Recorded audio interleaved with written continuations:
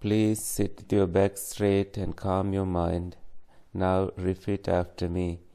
I now take refuge in the Buddha.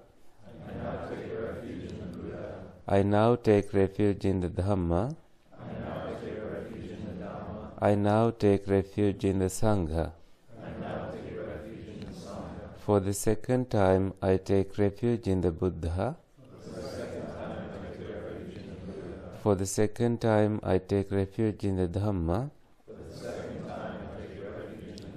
For the second time, I take refuge in the Sangha. For the third time, I take refuge in the Buddha. For the third time, I take refuge in the Dhamma. For the third time, I take refuge in the Sangha.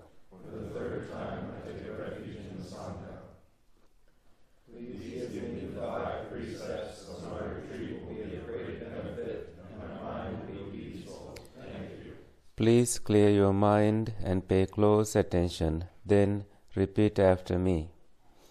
I undertake to keep the precept to abstain from killing or harming living beings on purpose. I undertake to keep the precept to abstain from killing or harming living beings on purpose. I undertake to keep the precept to abstain from taking what is not, not given.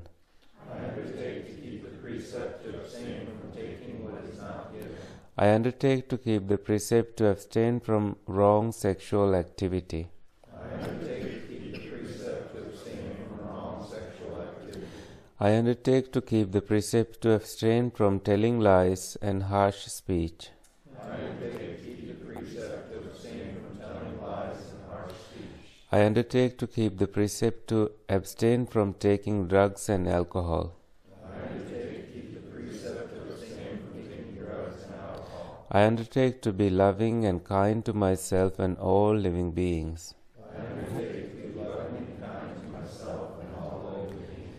Now you have taken the three refuges, the five precepts, and the five recollections. This leads to happiness and peace. Sadhu, sadhu, sadhu. Now let us read the verses of the Dhammapada together. Group reads together. Mind is the forerunner of all evil states. Mind is chief. Mind made are they. If one speaks or acts with an unwholesome mind, because of that suffering follows one, even as the wheel follows the hoof of the draft ox. Mind is the forerunner of all good states. Mind is chief. Mind made are they.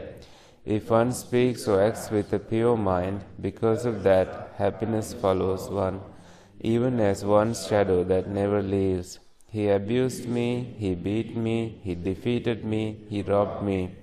In those who harbor such thoughts, hatred is not appeased. He abused me, he beat me, he defeated me, he robbed me.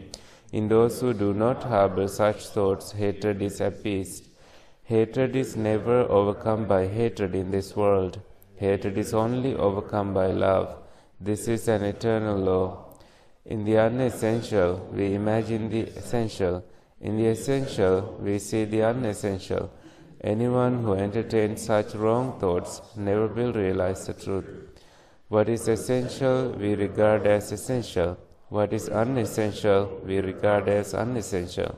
Anyone who entertains such right thoughts will realize the truth.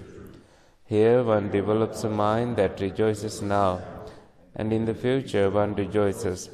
In both states, the well doer rejoices. One who rejoices a lot will be able to see the purity of their own deeds, speech, and thoughts. When one is happy now, they will be happy in the future. In both states, the well doer is happy. Thinking, I have done good in the past, one becomes happy and will easily experience a blissful state of mind. Though a person recites sacred texts but doesn't act accordingly, that heedless person is like a cowherd who counts others' cows. They have no share in the fruits of the holy life. Though a person recites the sacred text very little, but acts in accordance with the teaching, they give up lust, hatred, and delusion. They truly know what is good, and this leads to a mind that is free from suffering. They cling to nothing here and in the future. In this way, one shares the fruits of the holy life.